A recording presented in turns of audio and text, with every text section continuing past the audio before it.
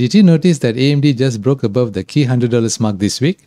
And if you're wondering where the price is heading next, you've come to the right place because I'm going to break down the charts in this technical analysis video. So let's get right into it. Let me show you this chart that I published in May. In that video, I mentioned that the price is consolidating and I was expecting AMD to continue higher above $100 once the correction is over. I also mentioned there is good support at around 75 should the price drop further. Here's the updated chart of what happened.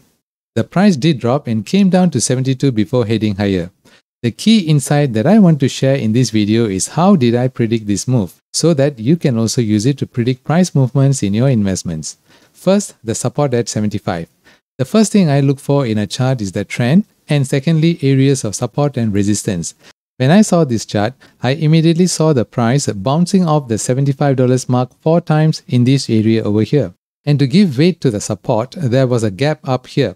Let's take a closer look. Usually, for some reason such as earnings release or some other news, the price will gap up or down. Gaps are vital for reading charts because they signify key market decisions. There is a gap up here with a high volume. The market has decided to be on the bull side and in a strong way. It makes it a significant move. And as long as the market does not change direction, this level will hold. And that is exactly what happened. Notice how the $75 level provided support when the price was retested. The volume thereafter was lower compared to the gap up volume. It tells me that there were strong hands that had invested and are not letting it go. Then I looked at the upside. Price tried to hit for the $100 mark and was turned down a few times. Typically, $100 mark is a psychological level. Psychological levels are key price points that you need to take note of because a lot of money can be made here. Psychological levels will provide resistance, but once broken, the price can accelerate very quickly. It is a price point of market Asian. Look at the huge volume that came in to break through the $100 mark, and I also mentioned it in the earlier video. So now we are in no man's land as AMD has never hit these levels before.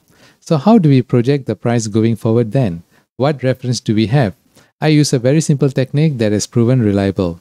I take the height of the consolidation zone and extrapolate that from the breakout point. From this chart, the high point is around 98 and the low point is 74. Extrapolating from the breakout point of $100 gives 1 to 5. But as you can see, the price is still trending strongly upwards. I would not be surprised to see AMD reaching 150 even. But price never moves in a straight line do expect some sideways consolidation along the way. So my view is the immediate target is 1 to 5 with more upside to come. That is all for this video. Thanks for watching. I hope you have learned something useful. And if you'd like to learn more about technical analysis and stock analysis, do subscribe to the channel. Next, I'm making a stock analysis video with the latest earnings report on AMD versus Intel.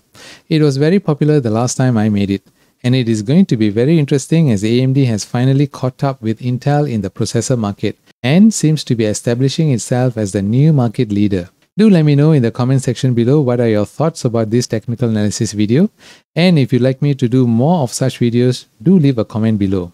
And I'll see you soon in the next one. Bye for now.